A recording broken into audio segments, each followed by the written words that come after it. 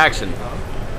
Hi, I'm David Straw with Royal Cup Coffee. We're, we're at the uh, 2010 National Restaurant Association show in Chicago, and we want to talk to you today about single serve coffees and really individualizing um, coffee and coffee brewing. We've got several different techniques and, and machines here that we, we're going to show you how to use. Um, first, we'd like to show you We've got some of our HC Valentine micro roasted coffee. It's an artisan roast, one bag at a time. And we're gonna show you a, a French press um, method first on, on how to, to uh, brew in a French press method. First we're gonna put this in here. We're gonna look, we've got the uh, Ethiopian Yirgacheffe. This is gonna be a real um, coarse grind. We're going to steep for four minutes, so the coffee's got to be very coarse. Um, we want to make sure we have the, the sweet part of the coffee and, and no bitters um, in, in the taste.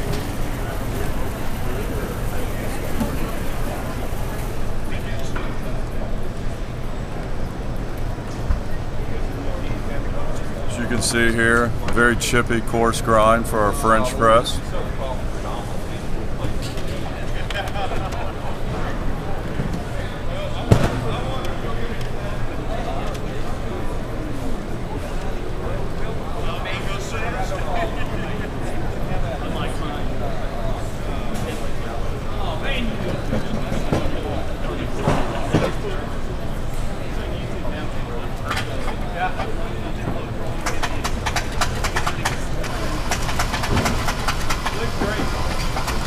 Cap this. We're going to let this steep uh, for four minutes before we pour. All right, next, next we're going to um, show you uh, a very new method from Bunn, the uh, trifecta. And Carolyn's going to tell you more about, about the new Bunn system. Hi, I'm Carolyn McDermott with Bunn. What we're looking at here is the trifecta. And it's called the trifecta because it represents the three phases phase, the extraction, and then the hydrolysis. So in each of these phases, you set the machine so it does the best job possible for that coffee. We say that it unlocks the nuances.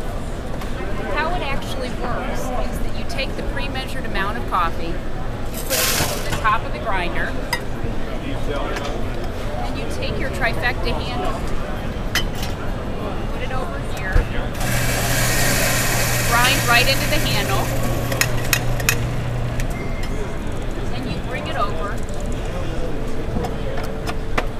put it into the trifecta, set your recipe, brewing into a 12 ounce portion, and then you hit brew. After you hit brew, there's a pre-infusion phase. That's when the water's coming in and wetting the coffee grounds. That's that first phase of wetting. From there, then we will go into the brewing stage after the pre-infusion. In the brewing phase, the coffee and the water are together and it's programmable. It's about 45 seconds long and in that there'll be turbulence and resting and turbulence and resting. And that's also programmable. So right now we're in the agitation, where you have the mixing so all the coffee grounds are getting wet.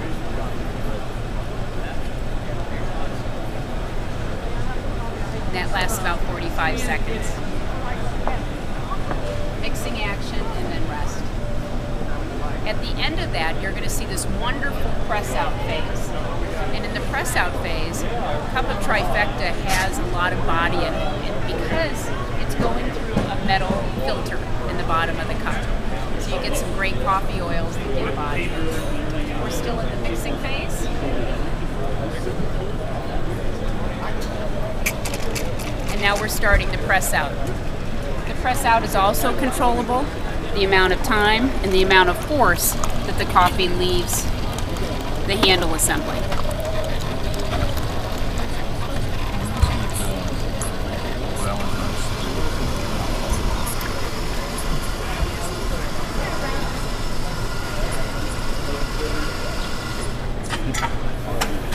And with that, you have trifecta coffee, which is a new platform in brewing. It's an air infusion platform. It's not drip coffee. It's not espresso. It's something new.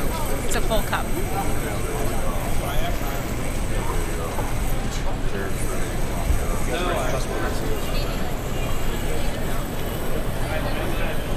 Hi, I'm Ben Pitts, Vice President of Food Service and Hospitality with Royal Cup. And the third method of single serve or brew to order brewing that we're going to show you today is the True Brew system or the cone brewing. And so this is single serve. Uh, what what is really interesting is the current consumer trend of single serve, and we're seeing that at home, we're seeing that in offices, you're seeing it in third wave coffee shops, and it's just a matter of time before it shows up in food service and hospitality.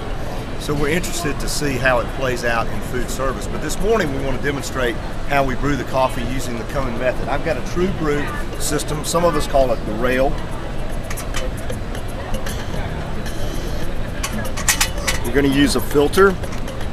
Got an unbleached filter. I'm going to go ahead and pre-wet the filter just to sort of take away any of the taste that may get into the coffee from the filter. The coffee that we're using this morning is a fair trade Honduras coffee roasted in our HC Valentine plant. We've got a little bit of the coffee already ground here. Um, you wouldn't normally want to grind a lot in advance, but we're doing that uh, just for efficiency here at the show.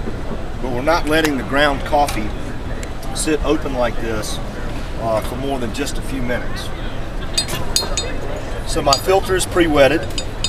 I'm going to come in with about 30 grams or roughly one ounce of coffee to make one cup. Obviously we're using a lot of coffee here, but at retail the price point of this is going to be $3 or more. Now, one of the things that we want to try to create, and you saw in the trifecta machine, is turbulence in the brewing. Uh, it's very difficult to create turbulence, so the barista has to do it by hand. So the first thing I'm going to do is I'm going to pour this very hot water over the grounds, sort of a pre-wetting. And then I'm going to just let that sit for a minute. I'm going to let the coffee absorb the water initially, and I'm going to let the coffee bloom.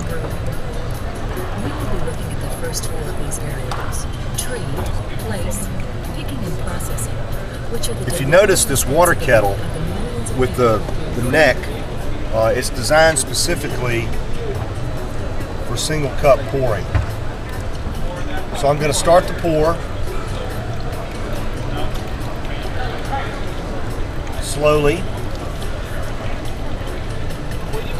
And I'm trying to create as much turbulence as I can with my hand.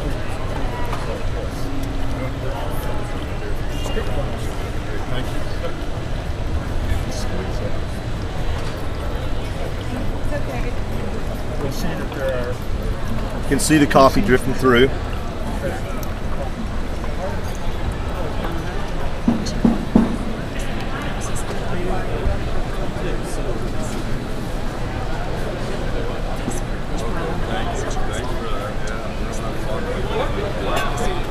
So as we continue to drip out, why don't we move back to David's French press and let's see how that coffee tastes.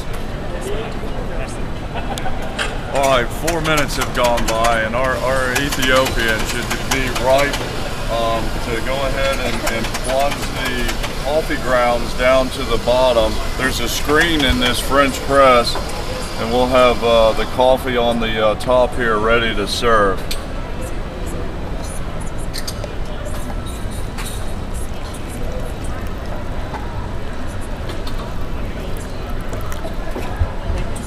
Very heavy bodied coffee.